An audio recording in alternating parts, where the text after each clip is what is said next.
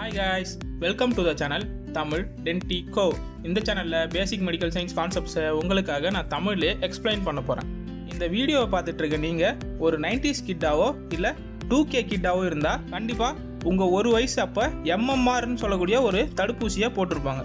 MMR இதில் எம்னா mumps M for measles and R for ருபெல்லான்னு சொல்லுவாங்க.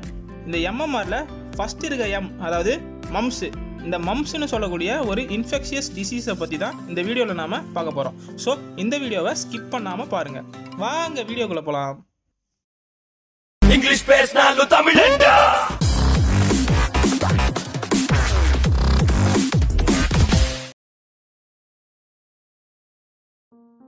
எம்யூஎம்பிஎஸ் mumps இதை பரோடைட்டிஸ்னு சொல்லுவாங்க. பரோடைட்டிஸ். இதில் ஐட்டிஸ் அப்படின்னா இன்ஃப்ளமேஷன் நம்ம எல்லாருக்குமே தெரியும். பரோடைட்டிஸ் அப்படின்னா பரோட்டிட் கிளாண்ட் இருக்க ஏரியாவில் வர இன்ஃப்ளமேஷனை தான் பரோடைட்டிஸ்னு சொல்லுவாங்க. இதை தான் மம்ஸ்னு சொல்கிறாங்க இந்த மம்ஸ் ஒரு இன்ஃபெக்ஷியஸ் டிசீஸ் அதுலேயும் பார்த்தீங்கன்னா வைரல் இன்ஃபெக்ஷன்னால உருவாகிற டிசீஸ் இந்த மம்ஸ்ன்ற இன்ஃபெக்ஷனை ருபுலா வைரஸ்ன்னு சொல்லக்கூடிய ஒரு பேரோ மிக்சோ வைரஸ் தான் காஸ் பண்ணுது. இந்த மம்ஸ் பார்த்தீங்கன்னா ஃபஸ்ட்டு ஃபஸ்ட்டு வைரஸ்னால தான் வருது அப்படின்ட்டு டாக்டர் கிளவுட் டி ஜான்சனும் எர்னஸ் டபிள்யூ குட் பாஸ்டர்னு சொல்லக்கூடிய ரெண்டு பிசிஷியனும் தான் நைன்டீன் தேர்ட்டி ஃபோரில் கண்டுபிடிக்கிறாங்க. ஃபார் எக்ஸாம்பிள் இதுதான் ஒரு மம்ஸ் பேஷண்ட்டோடைய சின்ன ஒரு ஃபோட்டோகிராஃப் இப்போ இந்த மம்ஸ் வைரஸ் எப்படி ஒருத்தர் உடம்புக்குள்ளே என்டர் ஆகுதுன்னு கேட்டிங்கன்னா இந்த மம்ஸ்ன்றது ஒரு கண்டாஜியஸ் டிசீஸ் அதாவது இது ஒருத்தர் யூஸ் பண்ற பொருளை அதாவது மம்ஸ் பேஷண்ட் யூஸ் பண்ற பொருளை இன்னொருத்தர் யூஸ் பண்றது மூலமா ஸ்ப்ரெட் ஆகலாம். அப்படி இல்லைனா பை சலைவா அதாவது யாராச்சும் கிஸ் பண்ணும்போதோ இல்லைனா ஃபுட்டெல்லாம் ஷேர் பண்றதுனாலயோ இந்த மம்ஸ் வர சான்ஸ் இருக்கு. அது மட்டும் இல்லாமல் ஒருத்தர் காஃப் பண்ணும்போதோ இல்லை ஸ்னீஸ் பண்ணும்போதோ அவங்க பக்கத்தில் இருந்தீங்கன்னா அது மூலமாகவும் இந்த மம்ஸ் டிரான்ஸ்மிட் ஆகுதுன்னு சொல்கிறாங்க ஓகே தென் இப்போ ஒருத்தர் உடம்புக்குள்ள இந்த மம்ஸ் வைரஸ் என்டர் ஆயிடுச்சு. அது எப்படி மம்ஸை காஸ் பண்ணுது அப்படின்னு பார்க்கலாம். அதை தான் பேத்தோஃபிசியாலஜி ஆஃப் மம்ஸ்ன்னு சொல்லுவாங்க. இந்த மம்ஸ் வைரஸ் பார்த்தீங்கன்னா ஒருத்தர் பாடியில் என்டர் ஆனதும் அவங்களுடைய ரெஸ்பிரேட்டரி எபித்தீலியமில் போயிட்டு கேம்ப் போடும். விச் மீன்ஸ் அந்த இடத்துல அதோடைய ரெப்ளிகேஷனை ஸ்டார்ட் பண்ணி மல்டிப்ளை ஆகும். அப்படியே ரெப்ளிகேட் ஆகி அந்த ரெஸ்பிரேட்டரி எபித்தீலியம்ல இருந்து லிம்ஃப் நோட்ஸ் வழியாக ஸ்ப்ரெட் ஆகி பரோட்டிட் ஏரியாவை ரீச் பண்ணும். அது கூடவே பிளட்லையும் ஸ்ப்ரெட் ஆகும். இந்த மாதிரி பிளட்ல வைரஸ் கலக்கிறது தான் வைரீமியான்னு சொல்லுவாங்க. ஸோ இந்த மாதிரி வைரஸ் எல்லாம் ரெப்ளிகேட் ஆகி உடம்பு ஃபுல்லாக ஸ்ப்ரெட் ஆகுறதுனால அந்த பேஷண்ட்டுக்கு headache moderate fever vomiting போன்ற பிரைமரி சிம்டம்ஸ்லாம் தெரியுமா?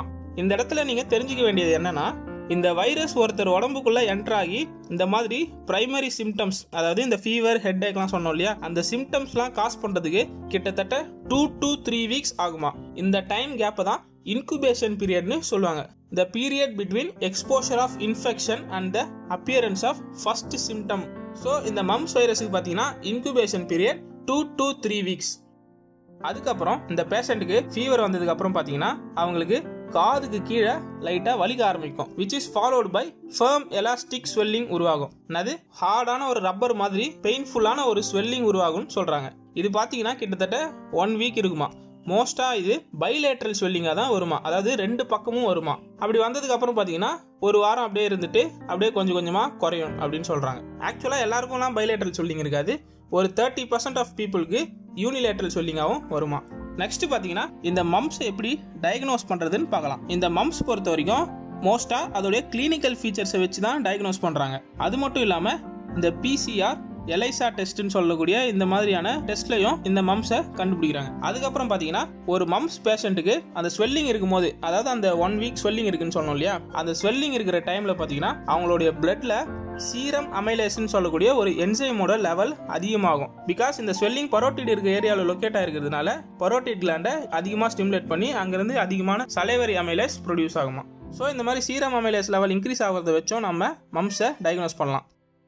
டூ யூனோ இந்த மம்ஸ் பொறுத்த வரைக்கும் பார்த்தீங்கன்னா அதுவாக சரியாயிடும் அப்படின்ட்டுலாம் விட்டுறக்கூடாது. பிகாஸ் இதை கேர்லெஸ்ஸாக நீங்கள் விட்டுட்டீங்கன்னா it may leads to severe complications மோஸ்ட்டாக பார்த்தீங்கன்னா at testes ovaries pancreas and even heart பிரெயினில் கூட அட்டாக் பண்ணுமா. அந்த அளவு ஒரு சிவியர் காம்ப்ளிகேஷன்ஸை இது உண்டாக்கும். டுவெண்ட்டி பர்சன்ட் ஆஃப் பேஷன்ஸுக்கு பார்த்தீங்கன்னா ஆர்ச்சைட்டிஸ்னு சொல்லக்கூடிய ஒரு காம்ப்ளிகேஷன் அதிகமாக வருதுன்ட்டு டாக்டர்ஸ்லாம் ஃபைன் பண்ணியிருக்காங்க ஆர்ச்சைட்டிஸ் அப்படின்னா இன்ஃப்ளமேஷன் ஆஃப் டெஸ்டிகல்ஸ் அப்படின்னு சொல்லுவாங்க. இந்த inflammation of testicles may leads to ஸ்டெரிலிட்டின்னு சொல்கிறாங்க இது மட்டும் இல்லாமல் இந்த மம்ஸ் பார்த்தீங்கன்னா ப்ரெக்னன்சி டைமில் அதுலேயும் ஸ்பெசிஃபிக்காக சொல்லணும்னா ஃபர்ஸ்ட் ட்ரைமஸ்டர் அதாவது முதல் மூணு மாதத்தில் வந்ததுன்னா it may leads to abortion அப்படின்னு சொல்கிறாங்க so treat as soon as possible at last at last treatment பொறுத்த வரைக்கும் இந்த மம்ஸுக்கு என்எஸ்ஏஐடி அதாவது non steroidal anti inflammatory drugs analgesics antiviral drugs இந்த மாதிரி ட்ரக்ஸ்லாம் யூஸ் பண்ணி ட்ரீட் பண்ணலாம். அதுலேயும் பார்த்தீங்கன்னா இந்த ஆன்டிவைரல் ட்ரக்ஸ்ன்றது ஸ்பெசிஃபிக்கான எந்த ட்ரக்ஸும் இல்லை. ஒவ்வொரு பேஷண்ட்டுக்கு ஏற்ற மாதிரியும் இந்த ஆன்டிவைரல் ட்ரக்கும் டோசேஜும் மாறும். கூடவே அந்த பேஷண்ட்க்கு அடிக்குவேட்டான பெட் ரெஸ்ட்டு ரொம்ப ரொம்ப அவசியம். அது மட்டும் இல்லாமல் ஒருத்தருக்கு மம்ஸ் வந்து அது சரியாயிடுச்சு அப்படின்னா அவங்களுடைய இம்யூன் சிஸ்டமில் அதை எதிர்த்து லைஃப் லாங்காக ஒரு இம்யூனிட்டி உருவாகிடும். இதனால தான் இந்த மம்ஸோடைய ரெக்கரன்ஸு ரேர்னு சொல்கிறாங்க நெக்ஸ்ட் பார்த்தீங்கன்னா இந்த மம்ஸை வராமலும் ப்ரிவென்ட் பண்ணலாம். அதுக்கு தான் நம்ம கவர்மெண்ட்ல வேக்சின் ஷெடியூல்ல எம்எம்ஆர் வேக்சின் அப்படின்னு சொல்லக்கூடிய ஒரு வேக்சினை போட சொல்றாங்க. எம்எம்ஆர் அப்படின்னா மம்ஸ் மீசெல்ஸ் ருபெல்லா இது மூணும் சேர்த்தா மாதிரியான ஒரு வேக்சின் இந்த வேக்சின் பொறுத்த வரைக்கும் பார்த்தீங்கன்னா ரெண்டு டோசஸா போடுவாங்க. ஃபர்ஸ்ட் டோஸ் பார்த்தீங்கன்னா குழந்தை பிறந்து டுவெல் மந்த்ஸ் டு ஃபிஃப்டீன் மந்த்ஸ்ல போடுவாங்க. செகண்ட் டோஸ் பார்த்தீங்கன்னா நாலு வயசுல இருந்து ஆறு வயசுக்குள்ள போட்டுருவாங்க.